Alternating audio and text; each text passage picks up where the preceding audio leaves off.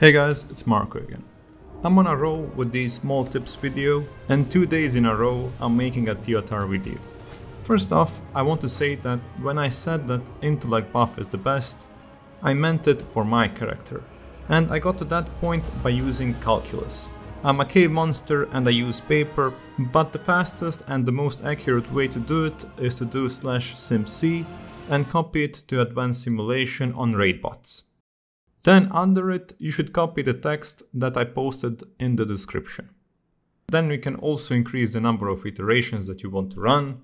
SmartSim is going to do a fine job and then just press simulate and you will get this window nice and easy.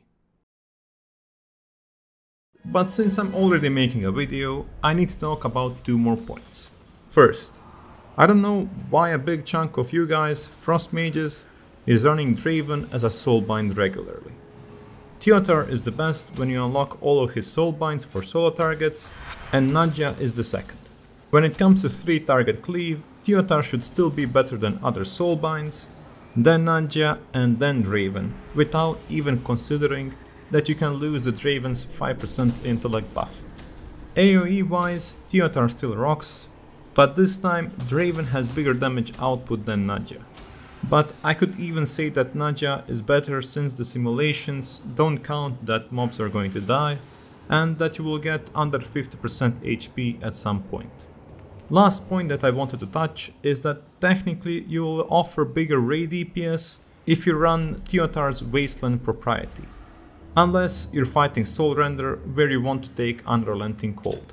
Running Siphon Malice level 226 increases my DPS by 190, while Wasteland Propriety increases my DPS for 120.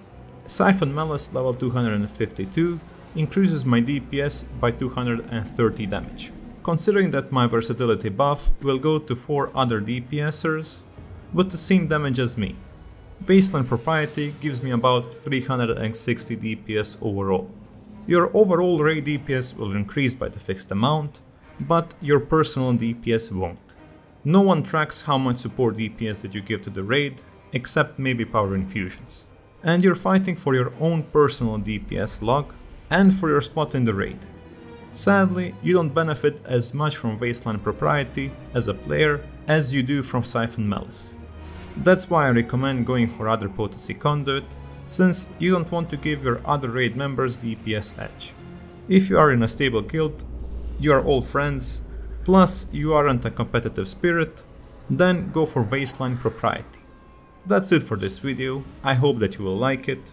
If you think that this was a big brain video, check out my Patreon page and look for some coaching.